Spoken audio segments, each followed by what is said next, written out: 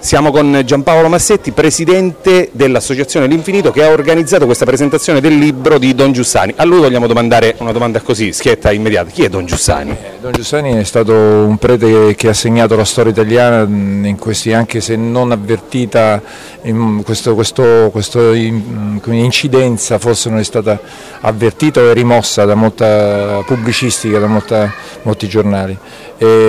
un prete che ha segnato, dicevo, la storia di tanti giovani, eh, migliaia di giovani, anche qui di Giulianova, eh, che hanno, fa, preso, fatto, hanno, avuto storie molto interessanti sia ehm, dal punto di vista personale, dire, come, come, come, vicenda, no? Solo famiglia, eh, soprattutto la passione per la realtà sotto tutti i punti di vista, ma questo ha anche segnato eh, dire, giovani anche di Giulianova che sono andati per esempio a insegnare in università, che hanno hanno, sono, sono, diventati imprenditori, sono diventate persone che hanno in qualche modo inciso eh, portato un, un, una ventata anche di novità. Però soprattutto al di là di Giulianova, Don Giussani, ripeto, ha,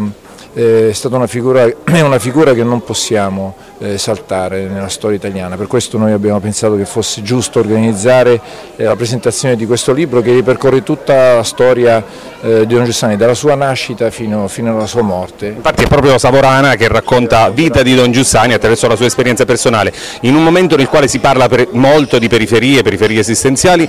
i giovani e le persone sono a caccia di una guida anche spirituale, qualcuno a Giulianova, un sacerdote di Giulianova l'ha definito un santo, Don Giussani, potrebbe essere anche attraverso un libro una nuova guida per la riscoperta di queste periferie? Allora, come diceva Don Giussani, santo è chi segue Cristo, chi imita Cristo, chi si medesima con Lui, quindi da questo punto di vista, anche se non abbiamo la canonizzazione, però per chi lo ha incontrato è un santo, proprio nel senso che attraverso di lui traspare, traspare è, dire, la, la, la, figura di Cristo è, ci ha, ha segnato chi lo, chi lo ha seguito. Eh, credo che la principale eredità per noi è, è proprio un'eredità educativa che è il carisma di Don Giussani fondamentalmente e questa è una grande sfida in un contesto che è completamente diverso rispetto a quello in cui è nato il movimento, siamo alle fine degli anni 50 e poi dopo soprattutto il periodo della contestazione giovanile che ha anche segnato il movimento, la storia del movimento in modo drammatico. Siamo in un'epoca nuova, siamo in un'epoca della fine delle ideologie apparentemente, ma del trionfo di un nichilismo, di uno scetticismo che sono devastanti tra i ragazzi. Quindi prima di leggere il libro vi invitiamo tutti quanti il 22 luglio alle ore 21.15 in Piazza del Mare a Giulianova. Sì, grazie. Prego, grazie a te. Siamo con Claudio Lo Sterzo che sarà il moderatore di questa serata, a lui visto che hai anche riportato una tua testimonianza bella sulla Ralda Abruzzesi di aver incontrato Don Giussani, ci puoi raccontare un pochino eh, chi è Don Giussani?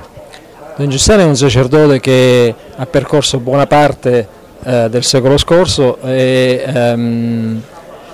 ha eh, portato nella società contemporanea, alla società dei suoi giorni, ha eh, riproposto con un'attualità straordinaria il cristianesimo, il cristianesimo basato sulla presenza reale di Gesù Cristo come una persona viva che si può incontrare e che si può seguire attraverso una compagnia di persone messe insieme da Lui nella sua Chiesa.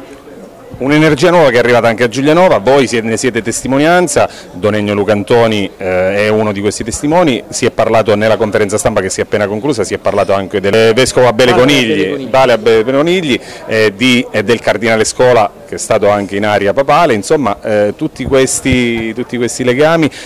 Savorana ce li racconterà nella serata in che modo? Visto che voi avete già letto il libro e sicuramente un'anticipazione ce la potrete fare. Sì, quello che mh, lei ha appena accennato è un fatto straordinario. Eh, negli anni 70, agli inizi degli anni 70, eh, Don Angelo Scola era ancora un seminarista e non si trovava nella diocesi di Milano né in altre diocesi un vescovo che lo volesse ordinare, perché a quei tempi Comunione Liberazione era vista con grande sospetto e anche molta diffidenza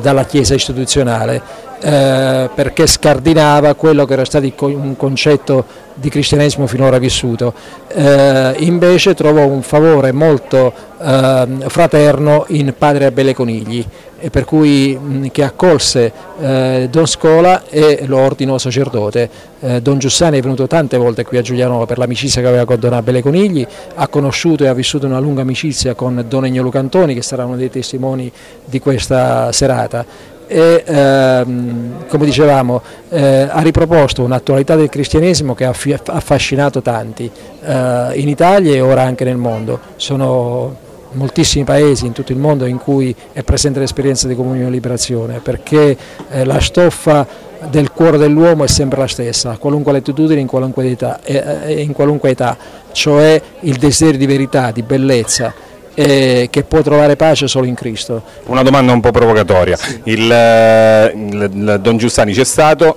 il libro è stato scritto, Comunione e Liberazione resterà, quindi chi è il, chi è che prenderà il testimone? Tutto il movimento, tutta l'associazione? Don Giussani ha lasciato un, eh, un, eh, una persona uh, a guidare il movimento che è Don Julián Carron, un sacerdote spagnolo che dalla morte di Don Giussani uh, guida il movimento di Comunione e Liberazione eh, ed è attualmente eh, dire, la guida, il punto di riferimento. Quindi a vederci il 22 luglio alle ore 21.15 in Piazza del Mare a Giulianova. Grazie.